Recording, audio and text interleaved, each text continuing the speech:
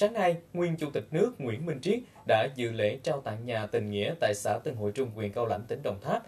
Phó Chủ tịch Ủy ban Nhân dân tỉnh Đồng Tháp Đoàn Tấn Bửu cùng tham dự.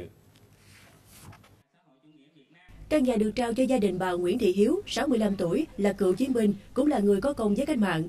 Trước đây, hai vợ chồng bà Nguyễn Thị Hiếu có thời gian cùng tham gia đội thanh niên xung phong và là đồng đội với nguyên Chủ tịch nước Nguyễn Minh Triết. Sau khi biết hoàn cảnh gia đình bà Hiếu khó khăn, nguyên Chủ tịch nước đã vận động công ty cổ phần Đồng Tiến hỗ trợ 60 triệu đồng xây dựng nhà tình nghĩa cho gia đình.